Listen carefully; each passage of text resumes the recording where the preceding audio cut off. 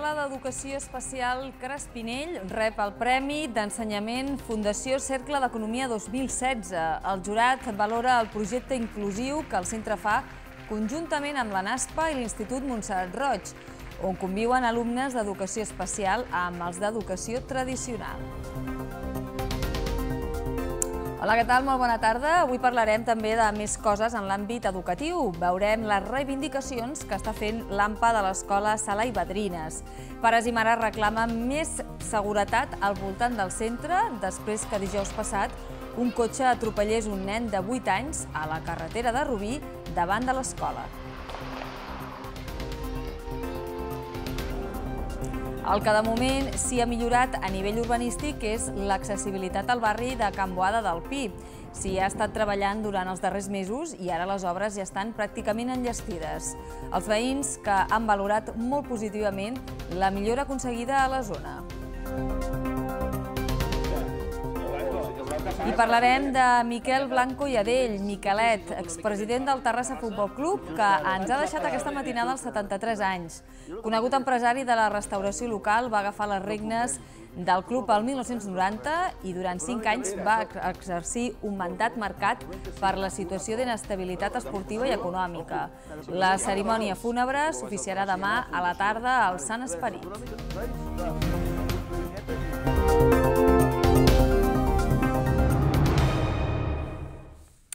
Premi per a l'Escola d'Educació Especial Crespinell eh, pel seu projecte inclusiu amb la NASPA i l'Institut Montserrat Roig. Una iniciativa on alumnes d'educació especial conviuen amb els d'educació tradicional. El reconeixement l'ha fet la Fundació Cercle d'Economia, que amb aquest guardó busca fomentar l'esforç de mestres i centres educatius per afavorir el talent. L'Escola d'Educació Especial Crespinell de Terrassa ha rebut aquest dilluns el Premi d'Ensenyament Fundació Cercle d'Economia 2016. Es tracta d'un projecte en què col·laboren dos centres més, l'Escola Pública La Naspa i l'Institut Montserrat Roig, i en què conviuen els alumnes d'educació especial amb els de l'educació tradicional. El guardó té una dotació de 15.000 euros. El segon premi, dotat amb 8.000 euros, ha estat per a l'Escola Virolai de Barcelona. Les escoles Crespinell, la NASPA i l'Institut Montserrat Roig són una escola d'educació especial concertada, una escola de primària pública i un institut públic de Terrassa, respectivament. La Fundació Cercle d'Economia considera que són mereixedors d'un reconeixement especial per exemplars i pioners en la posada en pràctica de l'escola inclusiva. Doncs no és només una valoració a la nostra tasca, és avalar un projecte i els valors que el sustenten, la inclusió i la cooperació. Sentim també molta satisfacció perquè es tracta d'un projecte innovador i compartit, un projecte singular, perquè treballem plegats tres centres, dos públics ordinaris i un concertat d'educació especial. El projecte de col·laboració públic-privat entre aquestes tres escoles aconsegueix posar en pràctica el concepte d'escola inclusiva que no fa distinció per raó de discapacitat, sexe, procedència, cultura, ètnia, llengua o religió, segons la Fundació Cercle d'Economia. L'alumnat dels tres centres comparteix activitats i currículum. L'escola Crespinell està situada al carrer Pantà. És un centre que té 67 alumnes. No deixem els centres educatius de la ciutat perquè l'AMPA de l'Escola Salivadrines reclama més seguretat al voltant del centre. Dijous passat un cotxe va atropellar un nen de 8 anys a la carretera de Rubí, davant l'escola. El cop li va produir diverses fractures a una cama i a un braç, a més d'un traumatisme cranioencefàlic. Arran d'aquest accident, l'AMPA de l'escola s'ha posat en contacte amb la regidora d'Educació, Rosa Rivera, per demanar més mesures de seguretat a les immediacions del centre escolar. L'AMPA admet que en ocasions hi ha un policia municipal que regula el trànsit, però que no és suficient en una via tan transitada. A més, recorda que no hi ha cap senyal que indiqui la proximitat d'una escola. Per això reclamen senyals que alertin els conductors i que obliguin els vehicles a reduir la velocitat al seu pas per l'escola. Ja han finalitzat les obres de millora de l'accessibilitat a Can Boada del Pi. Els treballs han consistit en la construcció de voreres i la reparació del paviment, així com amb la millora de l'enllumenat i l'eliminació de les barreres existents. També s'han repintat calçades i senyalització. Can Boada del Pi és ja accessible per tothom i està millor connectada amb la resta de barris de la ciutat. Ha estat gràcies a un projecte de millora que s'ha desenvolupat durant els darrers mesos. Aquest dilluns, diversos responsables municipals, encapçalats per l'alcalde i amb la participació dels veïns, han visitat les obres que ja estan pràcticament acabades. La visita ha tingut lloc en el marc de la iniciativa Govern als districtes, que traslladarà cada trimestre, durant una setmana, al govern de la ciutat als diferents àmbits territorials. Els treballs han consistit en la construcció de voreres i la reparació del paviment paviment, així com en la millora de l'enllumenat i l'eliminació de les barreres existents. Aprofitant l'actuació, també s'han repintat calçades i actualitzat la senyalització. El pressupost ha estat de 540.000 euros. Aquest és un barri que, que queda una mica allunyat no? pel fet que hi ha la, la riera que, que el divideix i per tant el que es tractava també és de, és de millorar l'accessibilitat, fer-lo més segur i també millorar les connexions amb, amb la resta de barris de l'entorn i de la ciutat. Can Boada del Pi es prepara ara per una nova reforma molt més àmplia, la de la Ronda de Ponent, tallada des de fa més d'un any per motius de seguretat davant la degradació dels talusos de la Riera del Palau.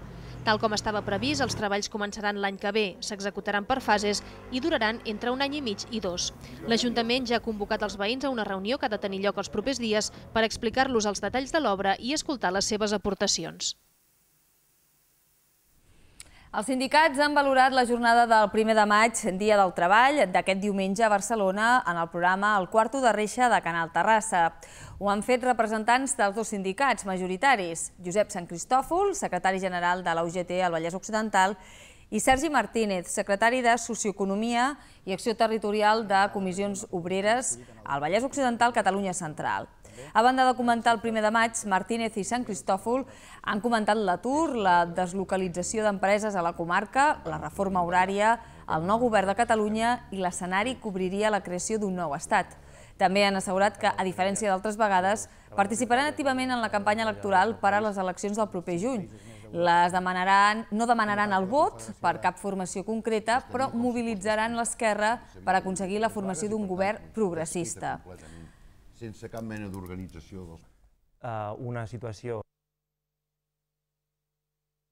Nosaltres estem satisfets de que, de que la mobilització, malgrat una mica tota la, la, la, la situació que hi ha contrària i tot el que plou i va plovent, etc etc, doncs eh, ens satisfà que hi hagi milers de persones que segueixin sortint al carrer el primer de maig i segueixin prenent la, la, la commemoració de, de, de l'aniversari com, com, un, com una jornada de lluita. Potenciar de nou eh, una situació de, de salarial a, a, a, a l'ofensiva, d'acord? Eh, que, les, que les condicions econòmiques eh, i, i salarials eh, les, tinguem de nou de tornada abans, com les que teníem abans de la crisi, i que, no, i que la reforma laboral, evidentment, juntament amb la negociació col·lectiva, siguin els pilars bàsics per, eh, per sortir-ne eh, dignament com a treballadors d'aquest país. Una cinquantena de conferències d'empreses i entitats i nombrosos estants protagonitzen des d'avui i fins dijous les 29enes jornades del cable i la banda ampla a Catalunya 2016. Les jornades es fan a Barcelona i estan organitzades pel Centre d'Estudis sobre el Cable, SACable, i l'Observatori de la Comunicació Científica de la Universitat Pompeu Fabra. El professor i director de SECABLE, el terrasseny Joan Francesc Fondavila, és un dels ponents d'aquestes jornades. L'esdeveniment analitza els factors estratègics de les comunicacions a Catalunya. Segons Fondavila, la societat de la banda ampla prioritza l'expansió de la xarxa i la creació de continguts. Les jornades analitzen aquests eixos angulars com el fet que la majoria de petits operadors catalans ja estan apostant pel que es coneix com a quíntuple play. que la major part d'operadors petits que hi ha a Catalunya, que són una seixantena, doncs ja estan apostant pel Quintuple Play, que seria telefonia, televisió, internet, amb les seves vessants fixa i mòbil, i eh, per altra banda doncs, està creant una indústria de generació de continguts, multimèdia, comunicació, molt activa, amb la qual cosa entenem que posar en solfa i a debat aquestes qüestions eh, és de, de relleu, i a part també amb la transferència amb la universitat, eh, de forma que fem engagement entre universitat i empresa, i d'aquesta manera doncs, aconseguim eh, que dintre del sector doncs, es faci recerca i s'implementi a cara l'usuari final. El Col·legi d'Advocats ha iniciat el sisè cicle de cinefòrum sobre els drets humans.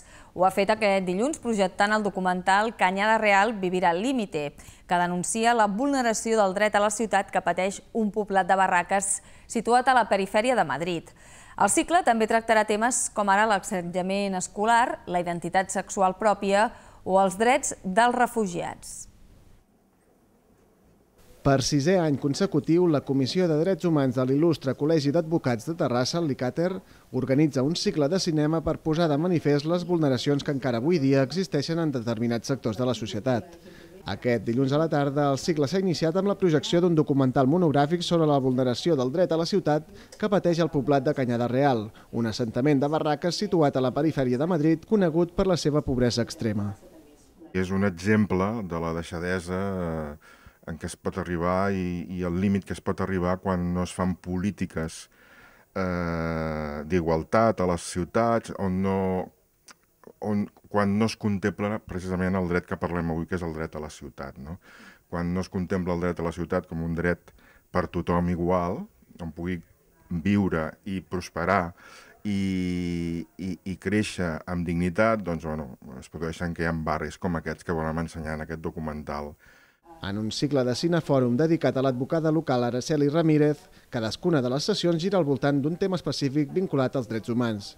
Així, després d'aquest primer documental sobre el dret a l'habitatge, el cicle també tractarà temes com l'assetjament escolar, la identitat sexual pròpia o els drets dels refugiats. Són temes de, de rabiosa actualitat, no? perquè els veiem cada dia als mitjans i pensem que veure'ls amb, amb una fotografia al diari o veure'ls amb uns quants minuts a les notícies doncs, no és suficient i que d'aquesta manera doncs, doncs, a través d'una pel·lícula o d'un curtmetratge o d'un documental doncs, es veu més eh, realment el que és no? la, la infracció de, dels drets humans i fa que tots plegats ens puguem conscienciar molt més en, en que hi ha en aquests problemes i que hem de, hem de buscar una solució. Després de cada visionat, diferents experts en la matèria contribueixen en un col·loqui obert a tots els assistents. Els organitzadors han insistit a destacar l'interès de la propera sessió per a infants majors de 13 anys, ja que aquesta farà referència al tema del bullying a les escoles. La projecció tindrà lloc el proper dimarts 10 de maig a un quart de sis de la tarda a la sala d'actes del mateix Col·legi d'Advocats.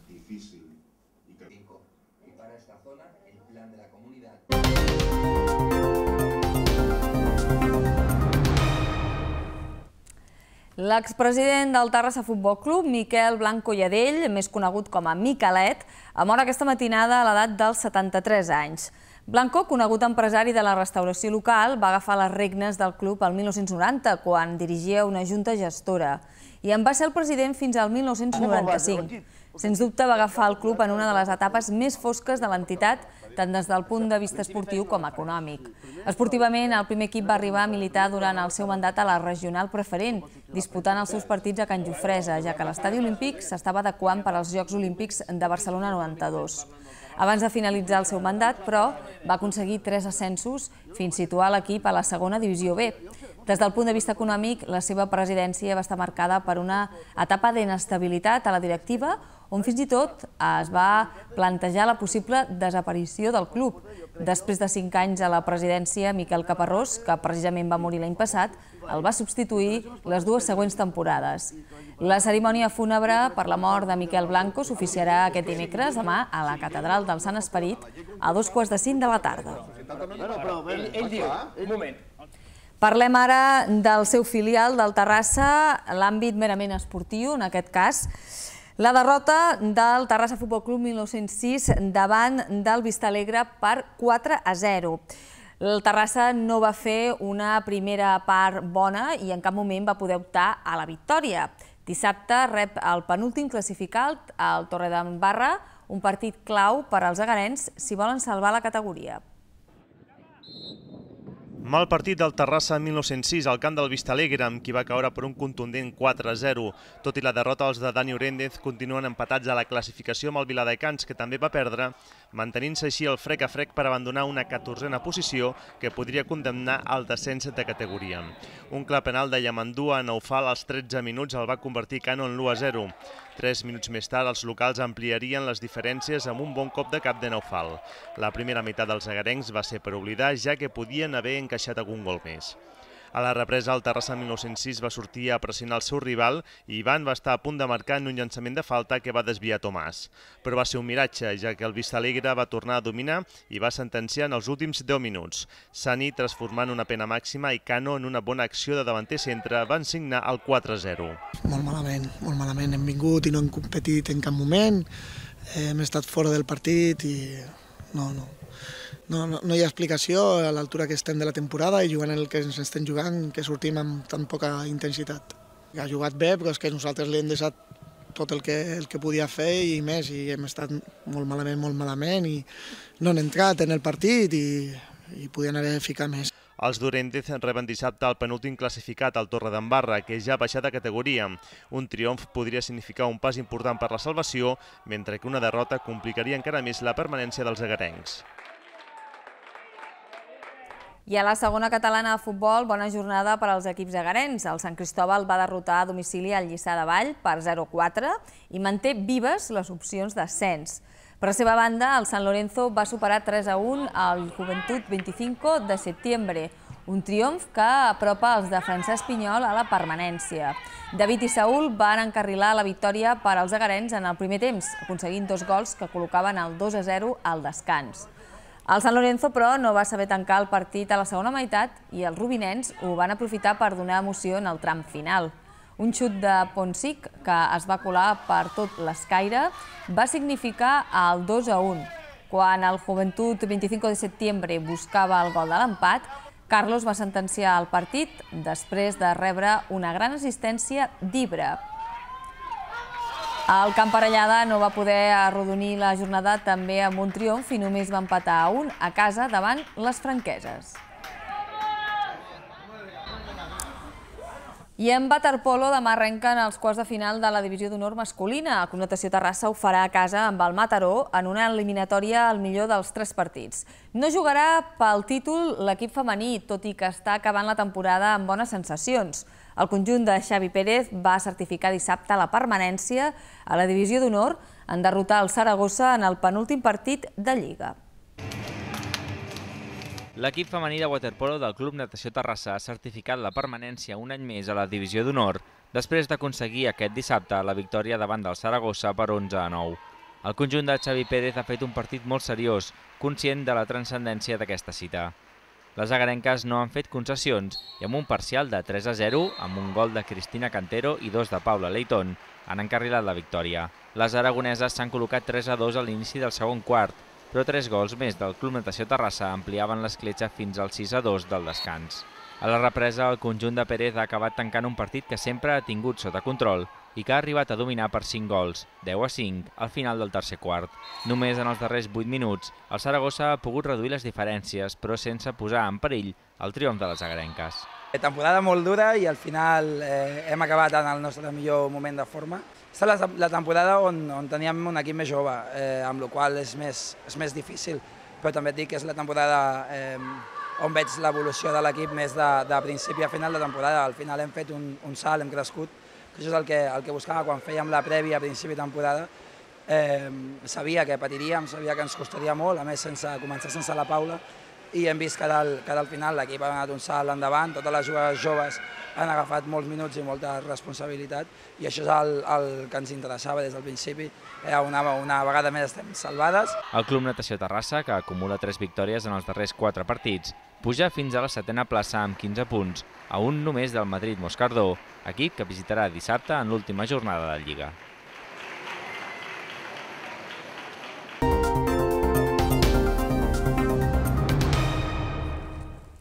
La plaça Vella s'ha convertit en un ampli plató de televisió aquest dilluns a la tarda. El programa divendres de TV3 s'ha desplaçat a Terrassa, on hi estarà aquests dies, per explicar l'actualitat i la història de la ciutat, però també per promocionar la celebració de la Fira Modernista, que se celebrarà el proper cap de setmana. L'espai presentat per Helena García Melero i Espartat Paran també es desplaçarà al Parc de Sant Jordi, des d'on mostrarà una de les joies del modernisme terrassenc, la Masia Freixa.